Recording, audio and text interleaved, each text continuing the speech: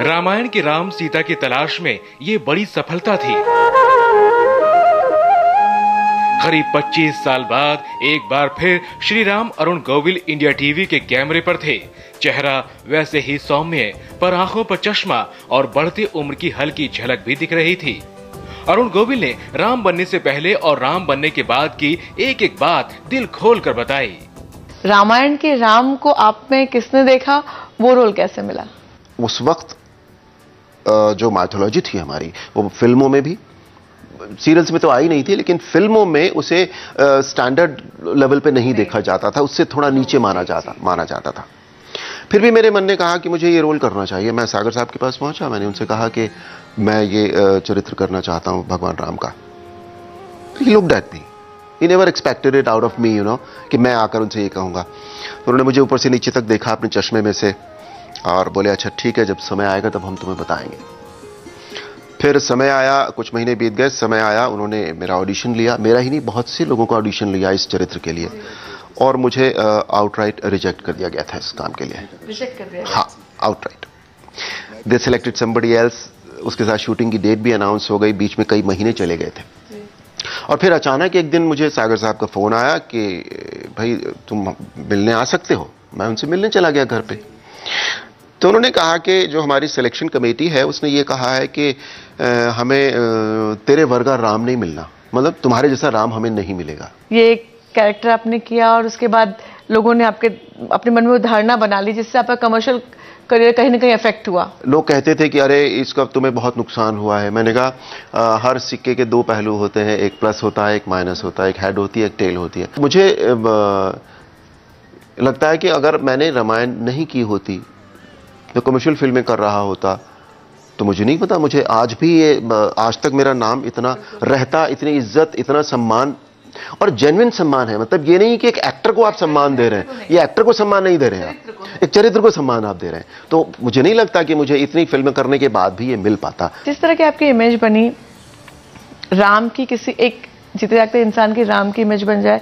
ज़ाहिर सी बात है तमाम लोग पॉलिटिकल पार्टीज़ बहुत सारे लोग क्योंकि जहाँ राम जी खड़े हो गए वहाँ कुछ और बोलने की ज़रूरत ही नहीं। तो इस तरह की इमेज का इस्तेमाल करने की लोगों ने कोशिश की उस जमाने में? कैंपेन किया था। कैंपेन एक व्यक्ति के लिए किया था। और वो किया था मैंने राजीव गांधी उस वक्त प्राइम मिनिस्टर थे। He called me up once I mean, he spoke to me on telephone. And he invited me to Delhi, to his home, PM house में, मैं वहाँ गया। और वहाँ उन्होंने he wanted me to fight fight by election at at time from Faridabad जो मैंने उन्हें कह दिया था कि नहीं सर, मेरे पास, ये मैंने अगर इलेक्शन इस वक्त लड़ा तो मैं रामायण के लिए समय नहीं दे पाऊँगा और रामायण की शूटिंग नहीं हो पाएगी। Ramayan was on at that time अब आपको पछतावा है कि अगर आपने वो इलेक्शन लड़ा होता तो शायद ज़िंदगी का रुख कुछ और होता।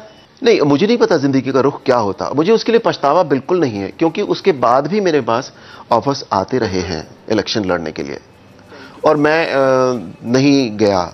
उसका कारण एक ये है कि मुझे लगता नहीं है कि मैं राजनीति कर सकता हूँ।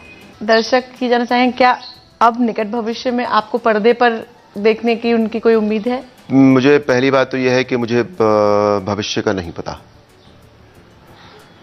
मैं ये मानता हूँ कि ये पल अब जो अब खत्म हो गया देखिए एक पल एक इतनी देर का होता है वो खत्म हो जाता है।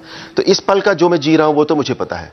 बाकी मुझे नहीं पता और मैं अ, सोचना भी नहीं चाहता क्योंकि पल में क्या होना है वो हमारे हाथ में होता नहीं है। वो ऊपर वाले के हाथ में होता है। आगे आपके क्या प्लान्स हैं? मैं अ, मेरे प्लान्स जो हैं वो ये है कि जो मेरे साथ जुड़ा हुआ है राम का नाम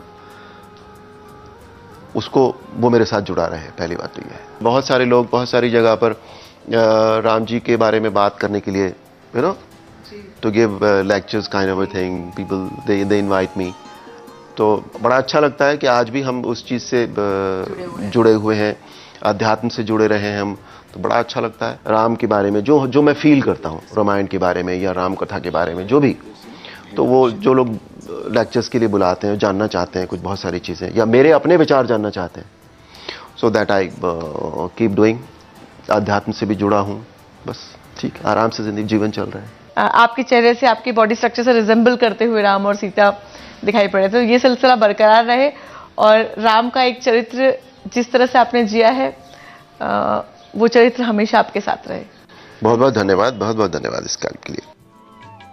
राम सीता की तलाश में हमें आधी सफलता मिल चुकी थी। राम के बाद अब बारी थी सीता यानी दीपिका चिकलिया की तलाश की।